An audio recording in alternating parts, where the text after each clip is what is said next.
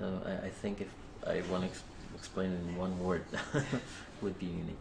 Um, meeting Yo-Yo Ma, which happened um, before the project started, and for another purpose actually. So um, that was very important. And then I I was asked to be part of this project, write some music for it, and um, you know I, I had my doubts and I didn't really know what it's gonna be like and everything. And um, I think everybody started like that, and we're still searching for um, new ways, new ideas, and what we can do. But um, our minds are more in a direction of um, um, unity and and something we could do together. And uh, when you have um, a number of um, brilliant musicians, the possibilities are endless, and what happens uh, can be very, very extraordinary. Ever since I've been involved in the project, um, I learned a lot, first of all, and uh, this might sound like a cliche. I learned a lot, you know, I did, but but I really learned. You know, I'm not just saying that uh, because uh, I tell you why. Because I'm a solo musician, and I I, I, I, I was brought up in a solo tradition. Uh, we are um, mm, trained as solo musicians, and that's something that becomes um, part of our character as a musician. We're not um, taught to share and share anything stage, music, whatever. We're soloists. So, um, and improvisers. So, um, it is kind of difficult to become involved in, in such project when you have to share with 40 people or 30 people or other musicians and read music and you know do all these things that uh, you know for for a musician such as myself could be very demanding sometimes. But the outcome was uh, very interesting for me. And um, it is nice to to learn to share. And yes. I play kamancha uh, literally in persian means um, the little hunting bow. Kaman means hunting bow. And che is the diminutive for, for the for the word.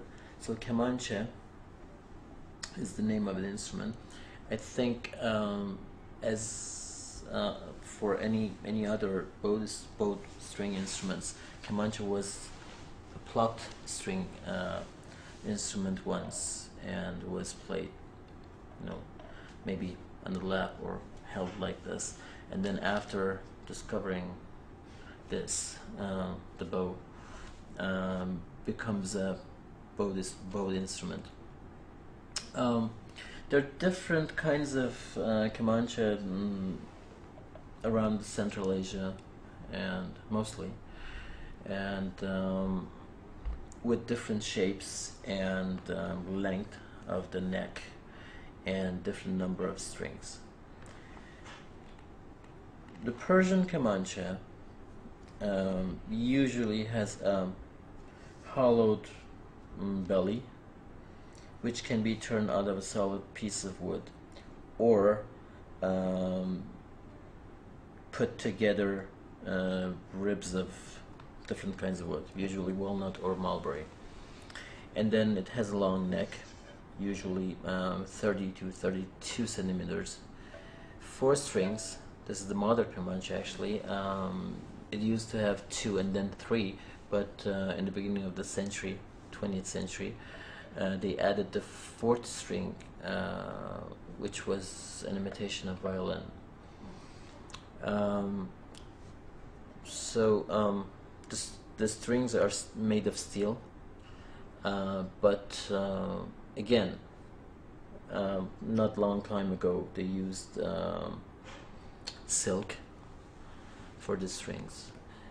And um, after being introduced to western violin they used um, steel strings. And um, the mouth of, of the belly is covered with a, a piece of skin which the bridge falls on it and um, because of the, um, the the shape and the piece of the skin, it has a different sound quality. It's a little reedier.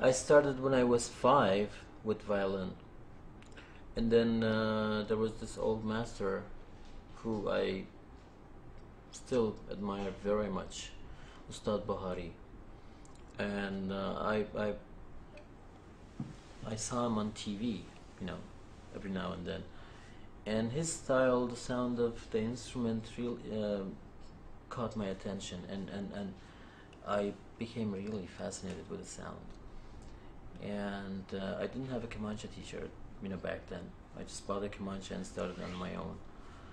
and later on, I found teachers because where I lived, there weren't any Kamancha teachers, and um, this is very interesting actually because um, when Western violin was introduced uh, at the end of 19th century to to Persian music, a lot of people uh, played that and just uh, put Kamancha aside. And it was fashionable, it was Western, it was chic, you know, so they, they just didn't like to play Kamancha anymore. So he was one of the masters who held on and then um, played Kamancha all his life, never switched to violin. And um, in that time, he was the only master who was playing that instrument. And his existence was very crucial to the history of Kamancha. And, uh, you know, I'm very fascinated always with his playing and, and his role in our musical culture. Uh, but nowadays there are many young players because he continued on playing. Kamancha is very important in, in, in Luristan folk music, which is, uh, which is a state in central Iran. And um, a lot of that uh, music, the repertoire of Luristan music or Luri music, as we call it, uh, I studied those as well. So um, a combination of folk and traditional music uh, that are played on Kamancha in, in, in modern Iran and with different styles. And it's amazing when you're looking for something that doesn't exist and how much you, you can find. And first of all, Kamancha um, can be tuned um, in fourths or fifths. According, we, we, we change the tuning according to the scale or the dastgah we play. Um, usually, uh, this is the, the most common uh, tuning. D A D A or step lower. G, um, what was it? C G C G, or uh, it could be um, E A D G like violin, or um, you know any combination of different tunings in fourth and fifth, or third, or fourth. Um, the lower um, string is now that uh, it's tuned in on a, a, a could be tuned on G or F. Um, and uh, you know you could play up to the fifth position comfortably and um, you know any kind of um, speed the difficulty on Kamancha is that the, I usually actually don't play Kamancha like this. I, I play it sitting on the ground but it's still difficult to hold the Kamancha upright and um, you know the the, the bowing Kamancha is a, is kind of tricky because the, the, it's not unlike violin that the hand moves and uh, and the elbow and bow are involved and, and the wrist are involved in the process of bowing in Kamancha you just bow and the instrument turns. So it makes it different from violin and and uh, but uh, in the same time it gives you possibility of um, doing things like a lot of turns involving all the instruments and, and, and double stops or triple stops. And uh, the ornamentations traditionally are endless but these are the most common ones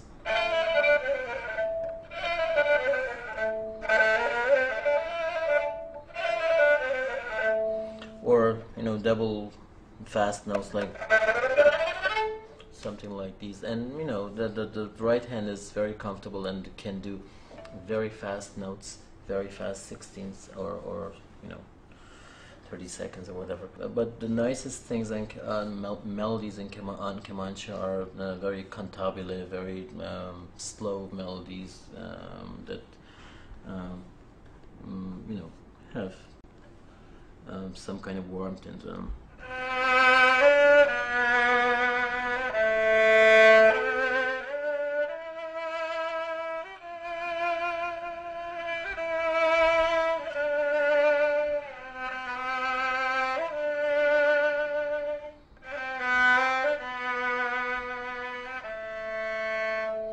So it's possible to write something, you know, very slow and, and elegant, uh, as well as, you know, fast passages and, and things like that.